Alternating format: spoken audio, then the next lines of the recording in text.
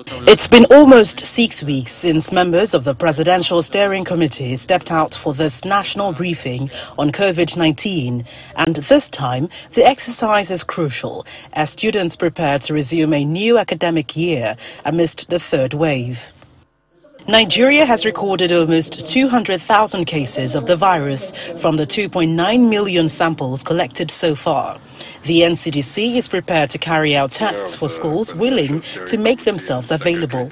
In addition to the vaccines, we also now have rapid antigen tests that we can test the whole school community in a single day and give every student the result in 15 minutes.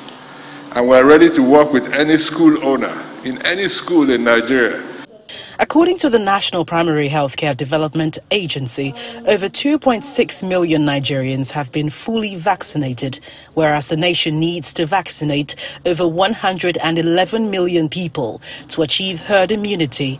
The committee is expecting 52 million doses of vaccine by the second quarter of 2022. There will be enough vaccines to go around soon.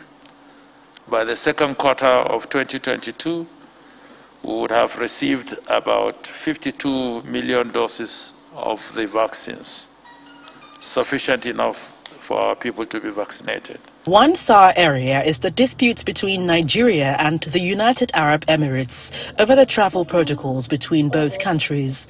The committee is now exploring other options to resolve the impasse. We've gone through Ministry of Foreign Affairs. Now we're being mandated by the task force jointly with the Foreign Affairs to resolve this impasse. It will be resolved.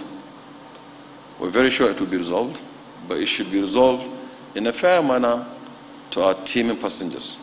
The committee is also hoping that the striking resident doctors can call a truce in view of the latest promise by the president to clear all outstanding debts.